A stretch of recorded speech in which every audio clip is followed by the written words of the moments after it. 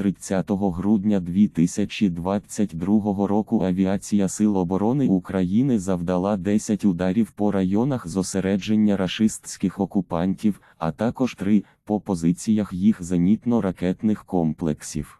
Підрозділи ракетних військ і артилерії Збройних сил України уразили пункт управління, 7 районів зосередження живої сили та військової техніки, 5 складів боєприпасів, а також дві радіолокаційні станції рашистів.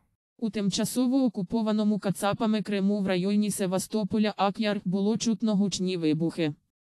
Неспокійно на території рашистського рейху. Масштабна пожежа спалахнула біля вокзалу в Ростові. В ГАУ Белгород пролунали вибухи. В ГАУ Волгоград знайшли уламки кацапських крилатих ракет, які впали під час масованої атаки на Україну 29 грудня 2022 року. Postscriptum. Рашистські окупанти продовжують зазнавати втрат. Станом на 29 грудня 2022 року лікарня в окупованому Біловодську Луганської області переповнена пораненими рашистськими військовиками. В районі Донецька було поранено та знищено до 10 озброєних рашистських окупантів. Крім того, знищено дві одиниці військової техніки, а ще три пошкоджено.